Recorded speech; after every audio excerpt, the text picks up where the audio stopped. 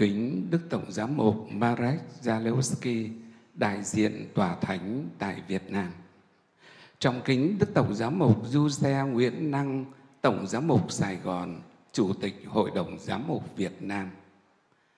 Trọng kính quý Đức Hồng Y, Đức Tổng Giám mục và Giám mục trong Hội đồng Giám mục Việt Nam.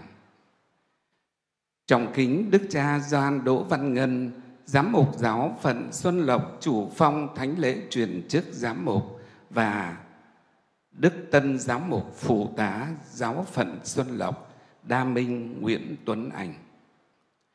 Kính thưa quý cha tổng đại diện, quý cha giám đốc các đại chủng viện, quý cha bề trên các dòng, quý cha quản hạt và quý cha. Kính thưa quý bề trên, quý tu sĩ nam nữ, quý khách, quý ông bà, anh chị em và cả những người không cùng tôn giáo đang hiện diện trong đại lễ truyền chức và những người đang tham dự thánh lễ truyền chức trực tuyến ở khắp nơi hôm nay. Kính thưa bà cố và gia đình, quý thân nhân và bạn hữu xa gần của Đức Tân Giám mục Phụ tá Đa Minh. Kể từ ngày 24 tháng 8 năm 2024, khi Đức cha chính Doan Đỗ Văn Ngân chính thức báo tin Đức Giáo Hoàng Francisco đã bổ nhiệm cha tổng đại diện Đa Minh Nguyễn Tuấn Anh làm giám mục phụ tá giáo phận. Cả giáo phận hết sức vui mừng và luôn cầu nguyện cho Ngài tràn đầy ơn thánh thần, kiên cường vững vàng, bước theo sứ vụ tông đồ Chúa trao phó, can đảm cộng tác với Đức cha chính Gioan dù có những thử thách và gian dối của trần gian vây quanh để làm thành đá tảng đức tin cho chúng con. Đúng một tuần nữa, ngày 14 tháng 10 là ngày đáng ghi nhớ giáo phận Xuân Lộc được thành lập 59 năm. Đức Tân Giám mục Phổ Tá là vị giám mục thứ 9 của giáo phận và là vị giám mục đầu tiên sinh ra và lớn lên tu học và làm việc trọn vẹn trong giáo phận này. Chúng con tạ ơn Chúa vì mục tử nhân lành luôn ban cho giáo hội những chủ chăn như lòng Chúa mong ước. Chúng con chân thành tri ân Đức Thánh Cha Francisco, tri ân Thánh Bộ loan báo tin mừng, tri ân Đức Tổng Giáo mục Marek Zalewski, đại diện Tòa Thánh tại Việt Nam, tri ân Đức Hồng Y Phêrô, các đức tổng giám mục, giám mục trong Hội đồng Giám mục Việt Nam đã quan tâm đặc biệt và hiện diện trong thánh lễ này của giáo phận chúng con. Cách riêng, chúng con cảm ơn Đức cha Gioan đã chuẩn bị cho giáo phận một vị chủ chăn yêu dấu và đẹp lòng Chúa mọi đảng. Trong trái tim lớn của giáo phận và trong tấm lòng của những người con Xuân Lộc hôm nay đang nổi lên một cơn bão yêu mến và hiệp thông. Trong cơn cuồng say ơn phúc này, chúng con không quên lịch sử giáo phận vẫn là những tiếp bước tông đồ bắt đầu từ năm 1965 với các đức cha đã yên nghỉ. Đến công cao đức dày của đức cha cố Đa Minh Nguyễn Chu Trinh và Du Xe Đinh Đức Đạo, các ngài vẫn còn đây mà chúng con mãi phải trân trọng giữ gìn và phát huy ngày càng thêm hơn nữa thành quả của các ngài đã làm để hôm nay nguyện ý Chúa được nên trọn nơi Đức Cha mới đa mình. Chúng con kính chào bà cố và gia đình thân tộc của Đức Cha như mẹ hiền và anh em bà con của Chúa Giêsu bà cố và gia đình đã âm thầm theo chân Đức Cha mới Đa Minh suốt đời dâng hiến. Phúc âm Thánh Doan đã viết về tiệc cưới Cana như thế này. Trong tiệc cưới có thân mẫu Đức Giêsu, Đức Giêsu và các môn đệ cũng được mời tham dự. Chúng con tin chắc rằng trong những hoạt động tông đồ của Đức Cha Phụ tá Đa Minh sẽ luôn có lời cầu nguyện trợ lực rất hữu hiệu của bà cố và gia đình.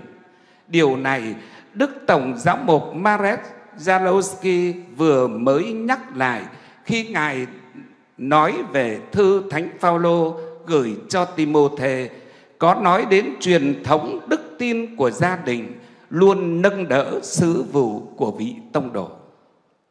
Trọng kính Đức cha Phụ tá Đa Minh Nguyễn Tuấn Anh kính mến.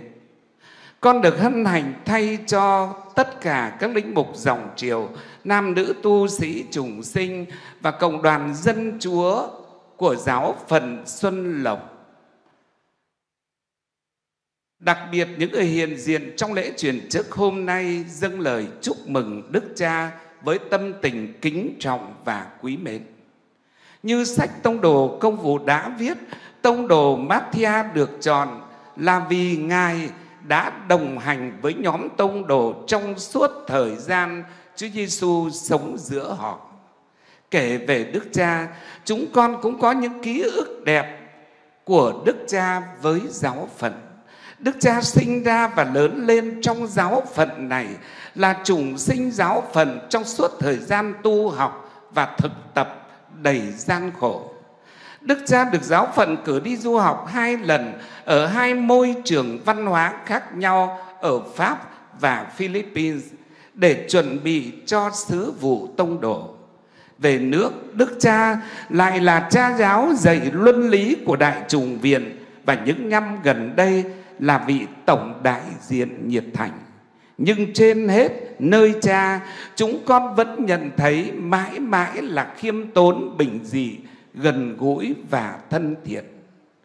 Đức cha là vị giám mục thứ tư của Xuân Lộc lớn lên từ những thử thách đi qua những gian nan của lịch sử giáo phận sau Đức Tổng Giám mục Sài Gòn Du Xe Nguyễn Đăng, Đức cha Bù Chu Tô Ma Vũ Đình Hiệu và Đức cha Bà Rịa Emmanuel Nguyễn Hồng Sơn. Tất cả các ngài luôn là hãnh diện của chúng con và là vinh quang cho dân Chúa Xuân Lộc. Chừng đó thôi, cũng thấy Đức Cha xứng đáng là giám mục phụ tá tuyệt vời của Đức Cha Tránh Gioan, người lãnh đạo và là bạn đồng hành xuất sắc của anh em linh mục chúng con, là người thầy, người cha nhân ái của đoàn dân Chúa Xuân Lộc. Từ nay cùng với Đức Cha Chính Gioan là Phêrô đứng đầu giáo phận, xin Đức Cha cứ khởi sự mọi công tác tông đồ, tôi đi đánh cá đây.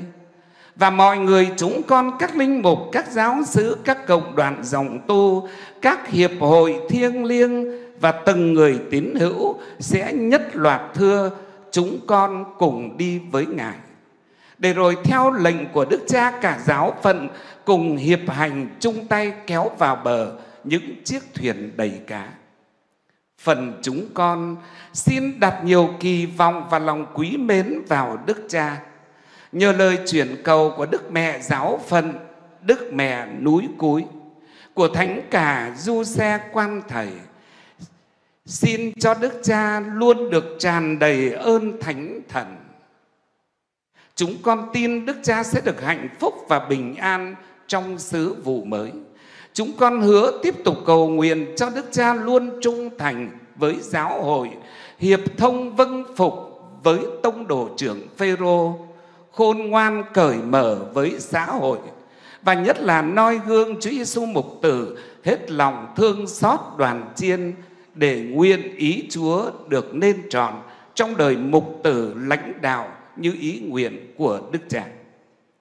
Rồi đây, lịch sử giáo phần sẽ ghi nhớ mãi ngày đặc biệt mùng 9 tháng 10 năm 2024 mà chúng con những người hiện diện được vinh dự có mặt trong một thánh lễ thánh thiêng rất hoành tráng này. Đó là sáng kiến tuyệt vời của Đức Cha Chính Gioan khi sáng nay Ngài đã quy tụ 15.000 người Xuân Lộc vào trong một tâm tình, một thánh lễ dân. Trước những hồng ân bao la của Chúa trong bầu khí vui tươi hạnh phúc, có vị đại diện tòa thánh, có các đức giám mục Việt Nam hiện diện, có quý khách xa gần và nhiều người khắp nơi trên thế giới đang tham dự thánh lễ truyền chức giám mục trực tuyến. Chúng con xin thay cho toàn giáo phần dâng lên Đức Cha mới phụ tá của chúng con những cánh hoa tươi gói trọn tâm tình kính chúc của đoàn con giáo phần xin Đức Cha thương nhận.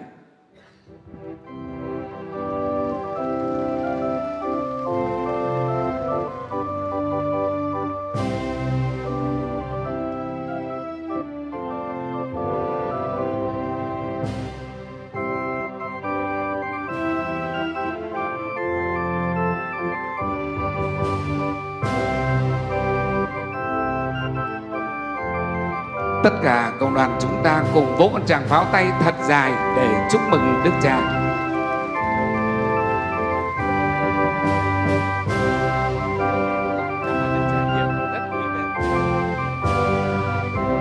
Cuối cùng con xin chân thành cảm ơn quý Đức Cha, quý cha, quý tu sĩ nam nữ và cộng đồng dân chúa. Con xin hết lời.